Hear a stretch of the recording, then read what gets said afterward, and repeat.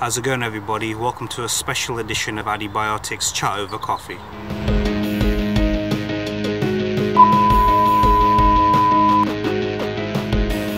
Now with this week being our 10th episode, we decided to dedicate it to the unfortunate events that are taking place all over the world with this coronavirus I just want to say our thoughts and prayers are with those who have sadly passed away from this disease and we urge everybody out there, not just in the biotic universe, all over the world, take care, take precaution, be safe, continuously wash your hands and stay safe out there. I know it's a horrible time that we're all going through, but you got to be strong in all this as well.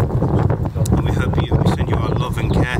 If you ever want to talk to anybody through AddiBiotics, you can get in touch with us through our Instagram account. We'll put a link in the description below as well. So until next time, stay safe, stay blessed, keep washing those hands, stay biotic.